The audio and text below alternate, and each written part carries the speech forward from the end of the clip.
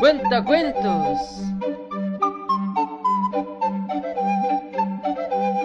Cuenta cuentos.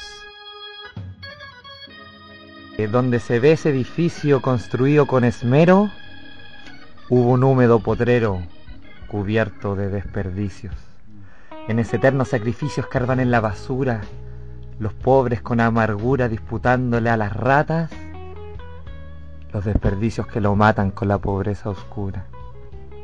Pero llegaron los obreros siendo el potrero cerrado, y el terreno fue limpiado con un afán tesonero, para que llegaron los jornaleros con su chus y picota, mientras el sudor les brota de sus cuerpos acelerados, que con fuerza han escarbado dejando a la tierra rota.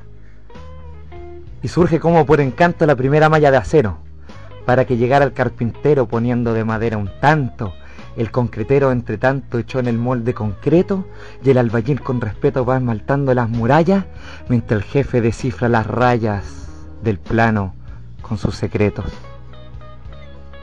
Y surge un piso 6 y 10 y se eleva al firmamento y todos quedaron contentos pues obra de todo es. Luego surgen otros 3, 15 se elevan en el cielo y en todos queda el consuelo terminado la obra gruesa admirando la belleza de lo que nació desde el suelo. Luego llegó el estucador con su arte de cemento para poner el revestimiento para el tono multicolor, para que llegara el pintor, el gaffiter y el parquetero con su claridad, el vidrero, el eléctrico y sus luces, trabajando de bruces en las gradas, el granitero.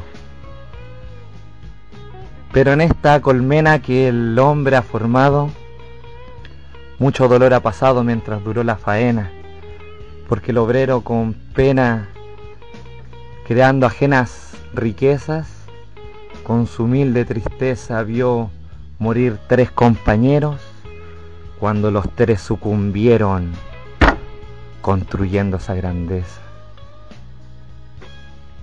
Pero el burgués que en su terraza recostado luego toma el sol, no tiene en cuenta el dolor de quien construyó su casa y cada día que pasa más se concentra en sí mismo y con su eterno egoísmo ignora que allí trabajó y que de ese mismo piso cayó un obrero hacia el abismo.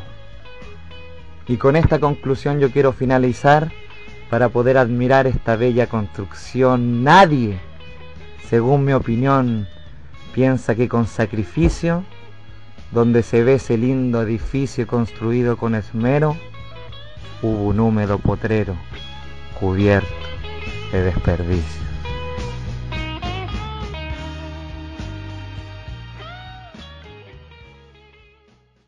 Cuenta cuentos, cuéntate un cuento, no para dormir a los niños, para despertar a los adultos.